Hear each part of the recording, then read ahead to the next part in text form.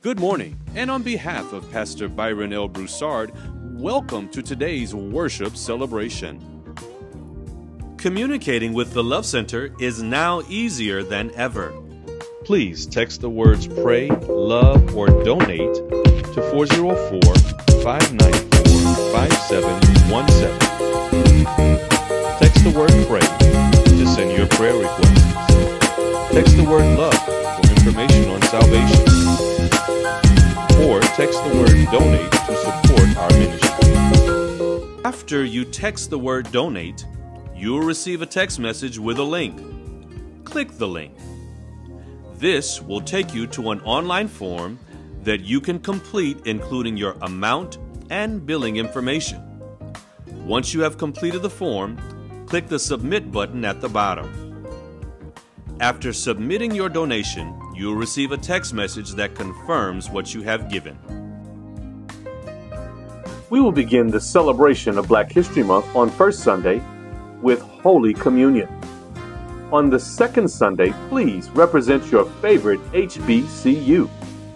On the third Sunday, bring your family and friends to worship. And on the fourth Sunday, wear your African attire. Parents, please sign up your children and teens today in the foyer so they can participate in Heritage Month. Let's celebrate our history and heritage together. This has been Love Center News, keeping you informed.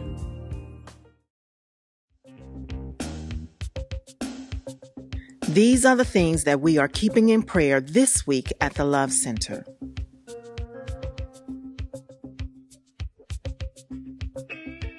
This is Haiti, and this is how rich cruise ship tourists, the relatively few who visit, get to see it at a private beach on the northern coast.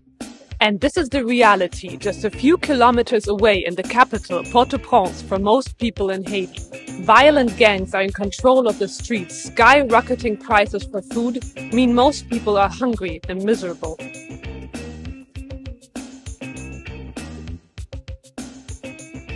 The standoff between the federal government and the state of Texas at the southern border. The Biden administration is demanding that Texas allow Border Patrol agents full access to a crossing point in the border town of Eagle Pass and is currently being blocked by the Texas National Guard. It was South Africa who brought the case before the International Court of Justice, accusing Israel of committing genocide in Gaza. But Israel calls the allegations false and grossly distorted. Israeli Prime Minister Benjamin Netanyahu says Israel has an inherent right to defend itself, also saying Israel's commitment to, to international law is unwavering. The preliminary decision. The Falcons decided tonight that Raheem Morris was the right one to lead the charge. Morris said in a statement, quote, I am overjoyed for the opportunity for my family and I to return to Atlanta as the Falcons head coach. We know from firsthand experience what a first-class organization Atlanta is and what this team means to its city and to its fans. And we Shaka Zulu was an extraordinary leader and warrior from South Africa. He is known for his military prowess and his role in establishing the Zulu kingdom.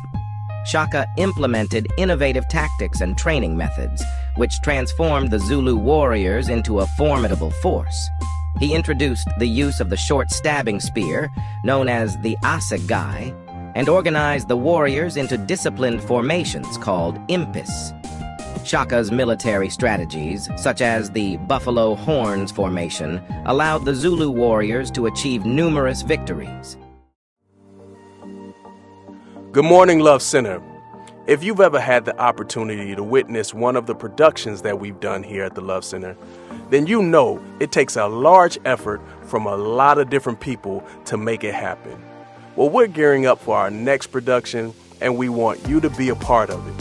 So if you have any interest in drama and arts, from acting to set design to all of the things that go into making our productions what they are, we want you to sign up today, immediately after worship.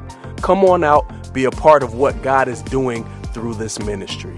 We'll see you there.